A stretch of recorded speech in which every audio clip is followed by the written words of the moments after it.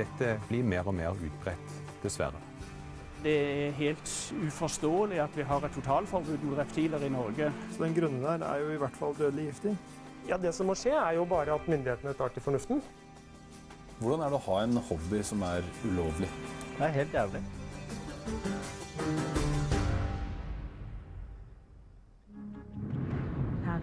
Dagsnytt, klokken er 17.30. Det spørs om ikke tyveriet fra akvariet i Bergen denne helgen overgår det meste. Der har nemlig ubudne gjester stukket av med en krokodille. Mens nyheten om den stjålne krokodilla går landet rundt, er Dokument 2 på vei inn i et parkeringshus utenfor Bergen sentrum. Vi har kommet i kontakt med en mann i det ulovlige reptilmiljøet. Han sier han ikke har noe med krokodilletyveri å gjøre, men vet hva som har skjedd. For å snakke med oss krever han å få være anonym. Hva er det som, eh, hva er det som har skjedd med denne krokodillen? Det har vært et tyveri. Og eh, han har havnet i eh, feil hender. Men eh, gjennom visse kontakter så har vi klart å oppspore han og finne ham igjen. Er det, vet du om det stemmer at det her var det en kjøper som eh, etter hvert trakk seg? Er på. Mannen sier han vil ordne opp og henter en boks i sin egen bil.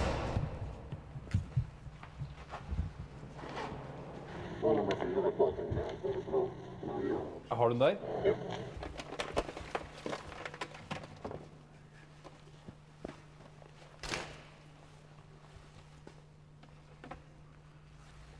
Her er den stjålne krokodilla Taggen. Munnen er teipet igjen for at ingen skal bli skadet. Vi er nå i den merkelige situasjonen at vi har en levende krokodille i bagasjerommet. Vi ringer direktøren for Akvariet i Bergen. Det er Klaus Holtei fra Dokument 2. Ja, hei Klaus. Hei, du, nå har jeg krokodilla bak i bilen her. Du kødder. Nei, jeg ble oppringt i dag av noen som ville levere den tilbake, og så um, tørte de ikke å gjøre det sjøl, så de ville Nei, du kødder ikke med meg, du, sant? Nei, den er fryktelig eh, levende, den som er bak i bagasjerommet her, så vi vil gjerne bli kvitt den, vi, da. I helvete. Selvfølgelig.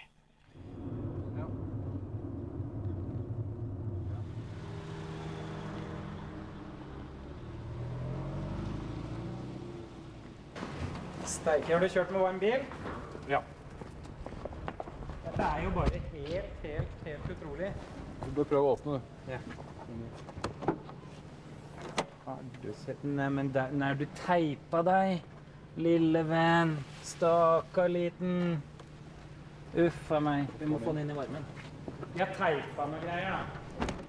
Om det på et tidspunkt var en privat kjøper til krokodilla er uvisst, men det som er sikkert er at slike dyr er verdifulle på det illegale markedet.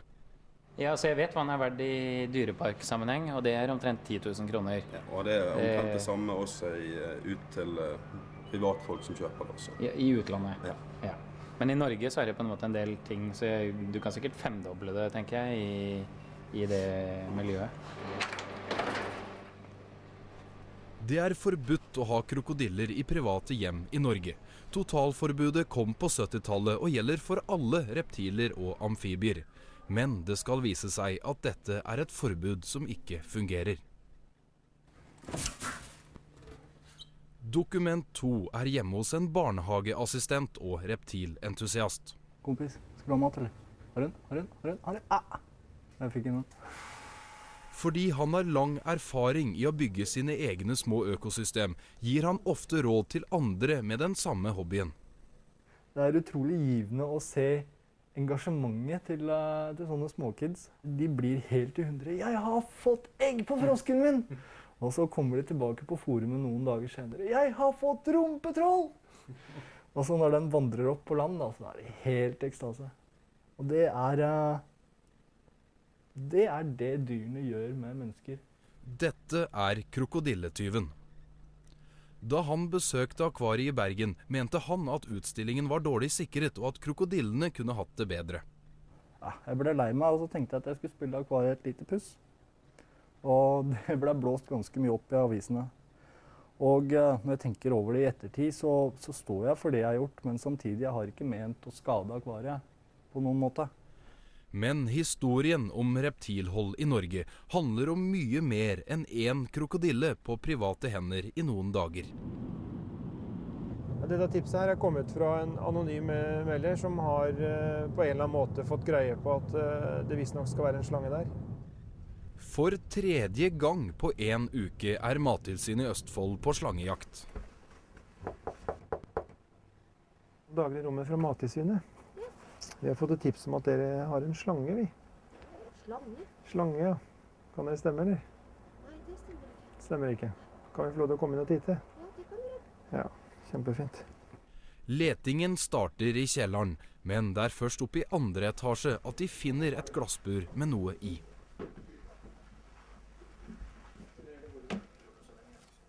Her bor det en kvelerslange av typen kongepyton. Når, når han spiste nå, da? 28 dager siden. Så han er sannsynligvis sulten. Det er Mattilsynets jobb å fjerne ulovlige reptiler fra private hjem. Vi, skal, vi undersøker selvfølgelig alltid om, eh, om det er noen av dyreparkene som er interessert i å, å ta vare på dem. Eh, hvis ikke så blir den avlivet. De fleste reptileiere får aldri besøk av mattilsyn eller politi. Dokument 2 er her på vei inn i en bygård i Oslo, der det i én leilighet er et rom som naboene ikke er klar over.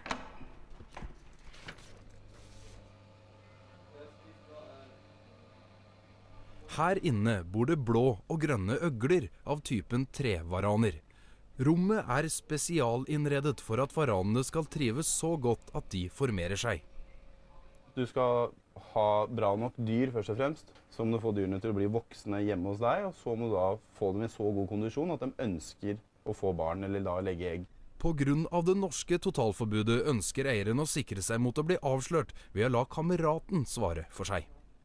Og ved at han da eksponerer seg med stemme, så vil han da også gi muligheten for å kunne gjenkjenne han i eh, borettslaget han bor i f.eks. Og det vil jo ikke da gi et veldig positivt utkomme for hans del. Da blir det ikke noe mer egg hjemme hos han i hvert fall. Hvor stor har denne hobbyen blitt i Norge? Jeg tenker da på å avle fram egne dyr. Ekstremt stor. Det er alt fra kameleoner til gekkoer til varaner til alt har blitt klekt ut i Norge. Kanskje ikke alle arter, men du kan si alle familiene med dyr har vel mer eller mindre blitt klekt ut i Norge. Hva er verdien på sånne dyr som det her, da? Du kan si 15, 15 000 oppover per stykk.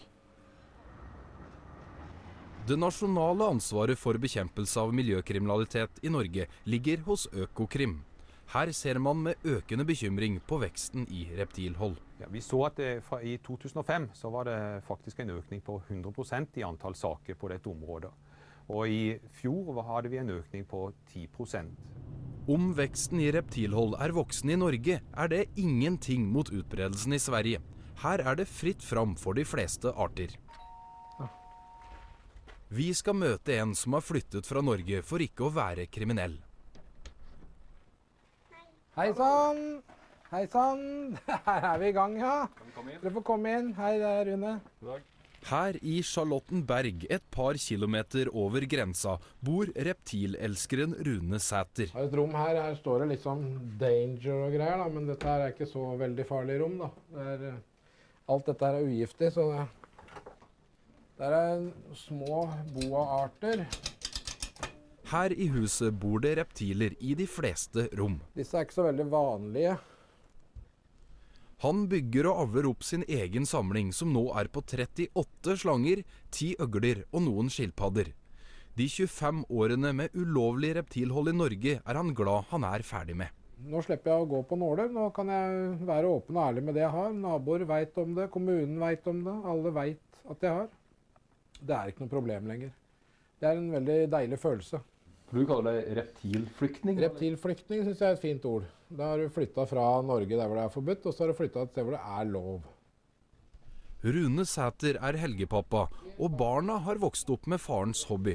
For yngstejenta Malin er slangene vanlige kjæledyr.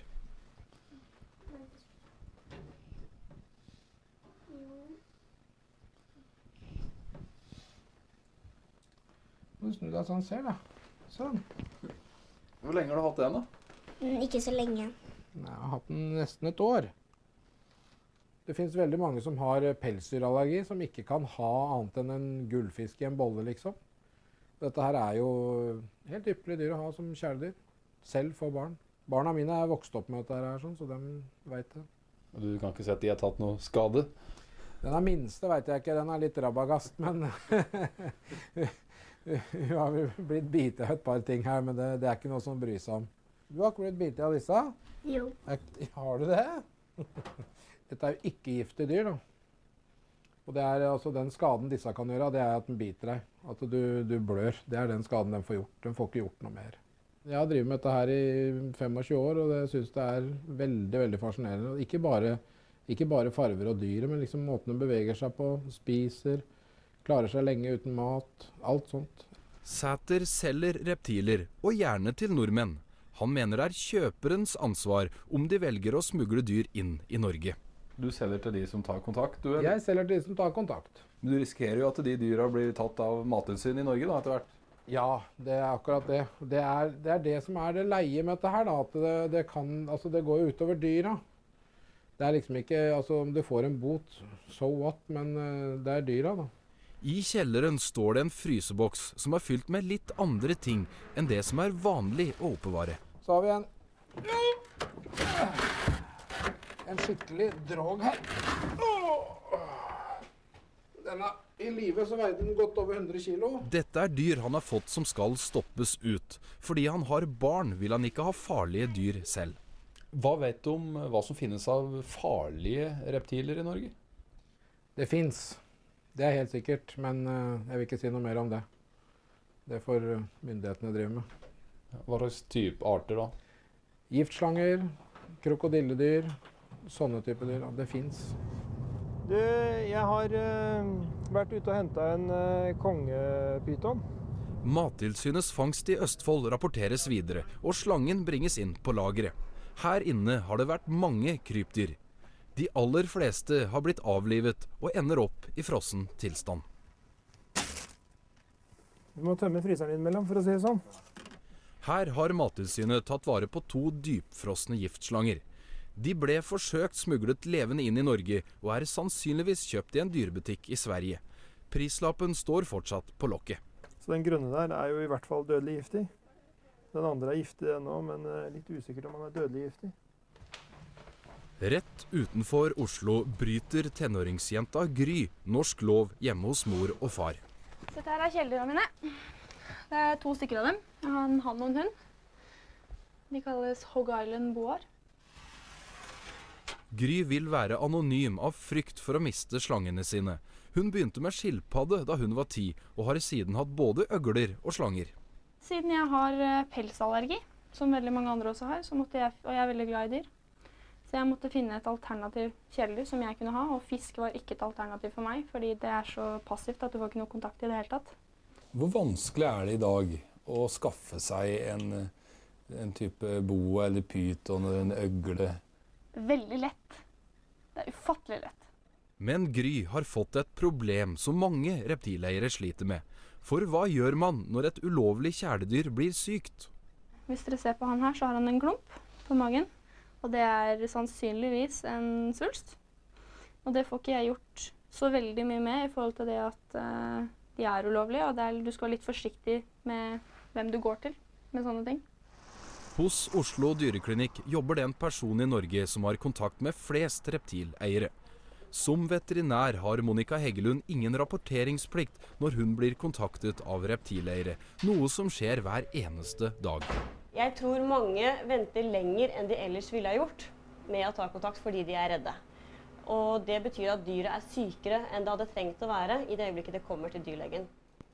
Veterinæren mener den norske lovgivningen ikke gir god dyrevelferd. Eh, Dagens totalforbud har overhodet ikke ført til at vi har fått færre dyr. Vi har hatt en vekst hele perioden i forhold til antall reptiler i Norge.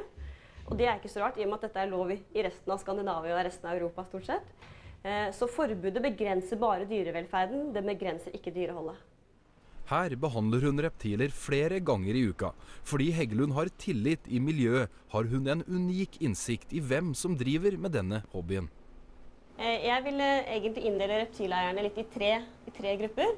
Eh, Du har familie, familiegruppen, altså de som har barn som har dyrehårsallergi. Eh, Gruppe to er jo, er jo eksentrikeren.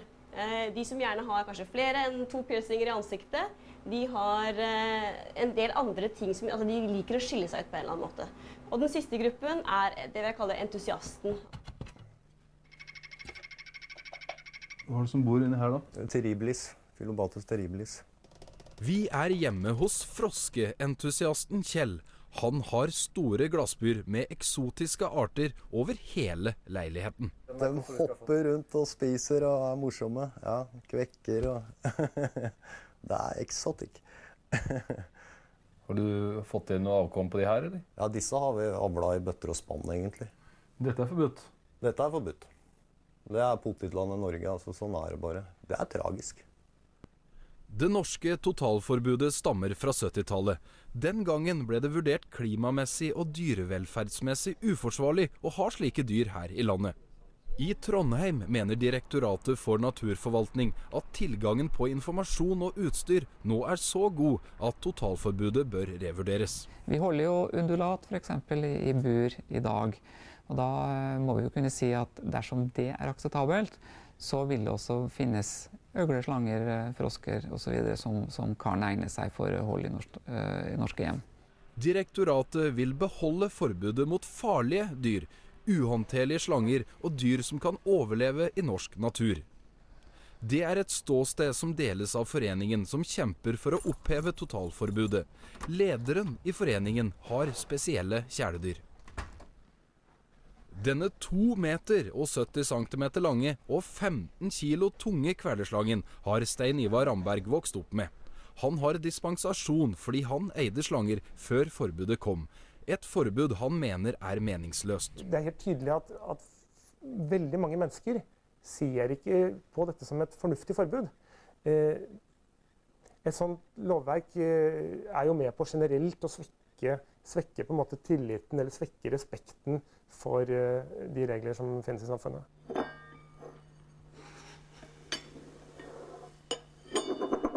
Til høsten skal Stortinget behandle en ny dyrevernlov. Rambergs forening har foreslått en liste over dyr de mener bør bli lovlige. Og så endte vi altså opp med 30 arter. Eh, frosk, eh, skilpadde, øgler, eh, slanger. Som vi mener er dyr som på en måte hvermannsen kan holde. Dokument 2 er i Trondheim for å besøke en ung reptileier. Kom deg. Ja, kom deg. Mm. Kom her få mat, Bjarne. På gutterommet har eieren utviklet et nært forhold til øgla Bjarne. Er det et kjæledyr? Det er et kjæledyr. Det er ikke noe problem med hvordan man er, skal jeg si. Jeg vil ikke ha han. Øgla, som er en skjeggagam, er pyntet spesielt for at TV kommer på besøk. Hadde jo manikyr på den før dere kom hit nå. Renska i ørene og nesa med q-tip og greier. Trønderen har også en gulbuket terapinskilpadde som har fått navnet Frida, og en japansk trefrosk. Også de ulovlige. Nei, jeg syns det er helt eh, absurd, fordi du ser jo, han er jo helt grei. Det er ikke noe problem med han her. Det blir liksom eh, gitt litt feil bilde i media òg, vil jeg si. De er jo ikke skrekkfulle av monster. Men hvis Mattilsynet fikk vite at du hadde sånne dyr, så Ja. ville de komme og ta de. Det ville jeg. Da blir det ikke noe mer Bjarne og Frida. Hvis det er snakk om ett eller noen få dyr, så snakker vi om bøter på mellom 5000 til 20 000 kroner. Eh, hvis det er mer organisert, så kan det være snakk om eh, eh, fengselsstraff. Hvor mange reptiler og amfibier som finnes i norske hjem, er det ingen som vet. Det eneste overslaget som finnes, er delvis basert på salg av reptilutstyr i norske dyrebutikker. Det er farlig å spekulere, men, men eh, at det kan være 110 000-120 000 iallfall, det, det vil jeg nesten tro. Eh, Vi vet jo at det foregår oppdrett av reptiler i Norge, eh, så det er, eh, det er ingen problemer å få fatt på det man ønsker av reptiler på det illegale markedet i Norge.